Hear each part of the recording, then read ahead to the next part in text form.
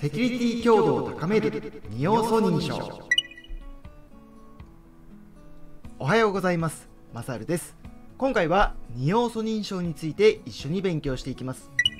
早速今回の問題にチャレンジしてみてください。IT パスポート令和2年秋問い86二要素認証の説明として最も適切なものはどれか。あ所有物。記憶及び生体情報の3種類のうち2種類を使用して認証する方式。い人間の生体器官や筆跡などを使った認証で認証情報の2箇所以上の特徴点を使用して認証する方式。う文字数字及び記号のうち2種類以上を組み合わせたパスワードを用いて利用者を認証する方式。え利用者を一度認証することで2つ以上のシステムやサービスなどを利用できるようにする方式。どれが正解でしょうか？ゆっくり考えてみたい方はここで動画を止めて考えてみてくださいね。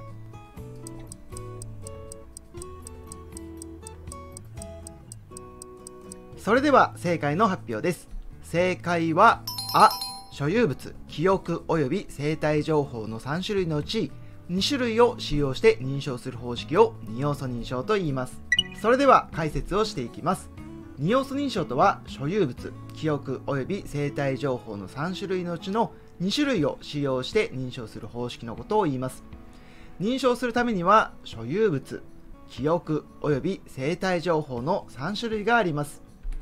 それぞれは所有要素知識要素生体要素に分かれます。一つずつ見ていきましょう。まずは所有要素。所有要素はその人だけが持っているもののことを言います。例えばスマートフォンの SMS 認証やアプリの認証。また IC カードによる認証などが該当します。所有要素を使って認証する場合は特定のスマートフォンや IC カードを持っていることで認証することができます。次は知識要素。知識要素はその人だけが知っている情報です。例としてパスワードや秘密の質問が該当します。知識要素で認証する場合はパスワードや秘密の質問を使って認証します。最後が生体要素。生体要素はその人の身体的な特徴のことです。例えば指紋顔などが該当します。生体要素を使った認証では指紋や顔を使って認証します。ここまで説明したように認証には3つの要素があります。2要素認証はこの3種類のうちの2種類を組み合わせて行う認証のことを言います。ここで注意してほしいことが1つあります。2要素認証はそれぞれ別の要素を組み合わせる必要があります。同じ要素の中で組み合わせても2要素認証にはなりません。例えば生体要素の指紋認証と顔認証を使って2回認証しても2要素認証にはなりません。2要素認証というのは2種類別々の要素を使って認証する必要があるのでそこはしっかり覚えておきましょう。次に2要素認証と似たような言葉で多要素認証2段階認証というものがあるのでそれぞれ違いについてお話ししていきます。まず2要素認証は先ほど説明した通りです。所有物記憶及び生体情報の3種類のうちの2種類を使用して認証する方式です。次の多要素認証というのは3つの認証要素の中から異なる2つ以上の要素を組み合わせて行う認証のことを言います。なので2要素認証というのは多要素認証の中の1つです。この3つ全てを使って認証する場合も含まれます。2つ以上の要素を組み合わせて行う認証のことを多要素認証ということを覚えておきましょう。最後が2段階認証。こちらは認証の段階を2回行って認証する方式です。この認証方式では要素の数は問われません。なのでパスワードと秘密の質問で認証するような知識要素と知識要素による認証が2段階認証に該当します。似ている認証が様々ありますがそれぞれの違いをしっかり理解しておきましょう。今回は2要素認証をテーマに一緒に勉強していますがそもそもなぜ2要素認証が必要なのでしょうか？それはパスワード認証だけではセキュリティ強度として不十分になってしまったからです。実は皆さんが使っているパスワード高い確率で漏洩していると言われています。いやいや自分のパスワードは大丈夫と思う方もいると思いますがそのような方はぜひこちらのサイトを試してみてください。Have I been found というサイトです。こちらのサイトはオーストラリアで有名なセキュリティの専門家トロイ・ハント氏が立ち上げたサイトです。このサイトは漏洩したアカウント情報が管理されておりメールアドレスを入力するとデータベースに一致した過去の個人情報の流出や情報漏洩事件の情報を表示してくれます。2023年1月時点で世界人口の約80億人よりも多い120億件以上のパスワードなどの認証情報が登録されているそうです。世界人口よりも多い認証情報が登録されているということは多くの方のパスワードの情報は流出してしまっていると考えて良いと思います。このサイトを利用することで自分のパスワードが流出してしまっているのかが分かります。では今回は早速使ってみたいと思います。それではハバイビンパウンドを使ってみたいと思います。こちらにメールアドレスを入力します。今回は私が仕事で使っている Gmail のアドレスを入力してみたいと思います。メールアドレスを入力したらこちらをクリックします。するとこのような表示が出てきました。このような表示が出た場合はこちらのサイトで管理している情報の中ではこのメールアドレスに紐づく流出情報はなかったことを表しています。ではもう一つ私がプライベートで使っているメールアドレスも同じように流出していないか確認してみたいと思います。ではこちらをクリックします。するとこのような表示が出てきました。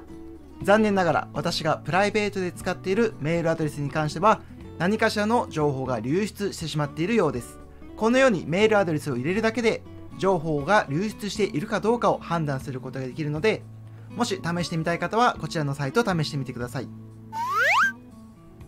実際にこちらのサイトを利用する様子を見てもらいました。私が古くから使っているプライベートのメールアドレスは情報が流出してしまっていることが分かりましたね。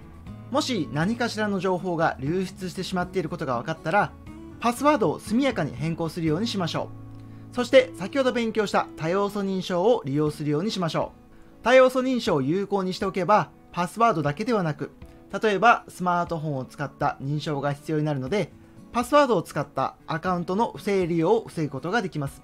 ちなみにこのサイト自体が安全かどうか不安になる方もいると思います。そう思った方はさすがです。セキュリティ意識が高いですね。不安な方は利用しない方が良いです。ただ事実としてこのサイトを立ち上げたハントさんという方はサイバーセキュリティ業界ではとても有名な方で信頼されている方です。またこのサイトは登場して約10年が経過していてユーザーや政府組織にとって欠かすことのできないツールになっています。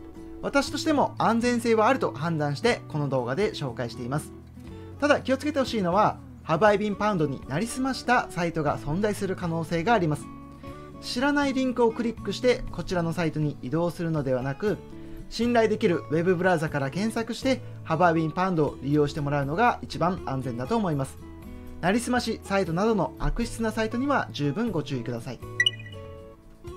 それではここまで勉強した内容を使って練習問題に挑戦しましょう。IT パスポート令和4年問い82 A 社では従業員の利用者 ID とパスワードを用いて社内システムの利用者認証を行っている。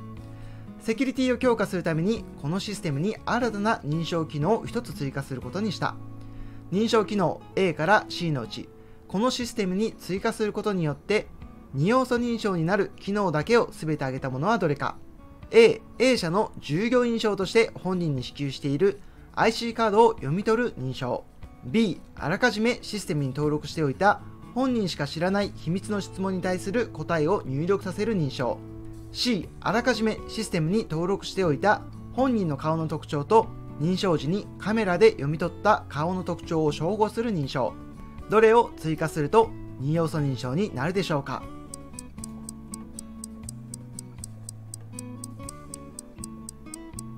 それでは正解の発表です。正解はう A と C です。もともと利用者 ID とパスワードを使って認証していました。パスワードは知識要素です。A の IC カードは所有要素。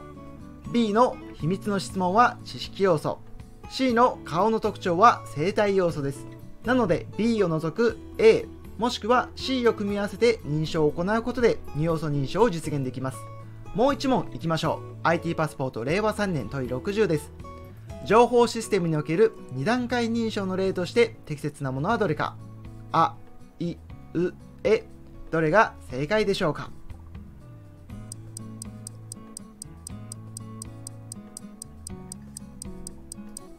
それでは正解の発表です。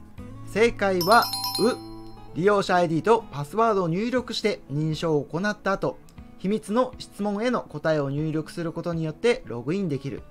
こちらが2段階認証の例として適切な選択肢です。2段階認証なので認証の要素は問いません。知識要素であるパスワードと秘密の質問。2段階で認証しているので「う」が正解です。ちょっと紛らわしい選択肢もあるのでこの問題は間違い選択肢も見ておきましょう。あの歪んだ文字列の画像というのはキャプチャのことです。きっと皆さんもキャプチャー使ったことはありますよね。読みにくい歪んだ文字列が表示されて頑張って読み取って入力したことありますよね。あれがキャプチャです。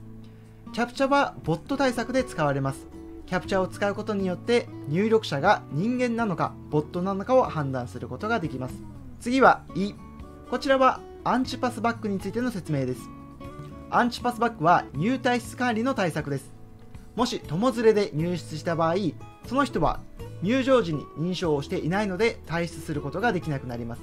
最後の絵の選択肢が少し紛らわしい選択肢でしたね。利用者 ID というのは管理者も知っている情報なので利用者だけが知っている情報とは限りません。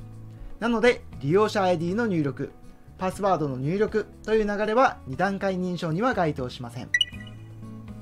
それでは最後に復習をしましょう。IT パスポート令和2年秋問い86です。2要素認証の説明として最も適切なものはどれか。正解選択肢は「あ」所有物記憶及び生体情報の3種類のうち2種類を使用して認証する方式を2要素認証と言います。間違い選択肢も見ておきましょう。い人間の生体器官や筆跡などを使った認証で認証情報の2箇所以上の特徴点を使用して認証する方式。2要素認証というのは認証3要素のうち2種類を利用する認証方式です。認証情報の2箇所以上の特徴点を使用するというものではないので間違い選択肢です。う文字数字及び記号のうち2種類以上を組み合わせたパスワードを用いて利用者を認証する方式。これはパスワード強度の説明です。たくさんの種類を組み合わせるとパスワード強度を高めることができますが2要素認証とは関係のない選択肢です。最後は絵利用者を一度認証することで2つ以上のシステムやサービスなどを利用できるようにする方式。これはシングルサインオンの説明です。皆さんは仕事でたくさんシステムを利用することがあると思います。そのシステム一つ一つに ID を入力してパスワードを入力して利用するのは大変ですよね。シングルサインオンを使えば利用者は一度認証をするだけでその利用者が利用することができるサービスを認証することなく利用することができるようになります。シングルサインオンは利用者の利便性を高める技術なので、これも間違い選択肢です。それでは間違い選択肢までバッチリ勉強できましたね。お疲れ様です。それでは今回も最後までご視聴いただきありがとうございました。これからも IT パスポートを通してもっと IT を好きになってもらえるような動画を頑張って作っていきます。2023年中にチャンネル登録者数5万人を目指して頑張っています。もしよろしければチャンネル登録、グッドボタンで応援していただけるととっても嬉しいです。それではまた次回の動画でお会いしましょう。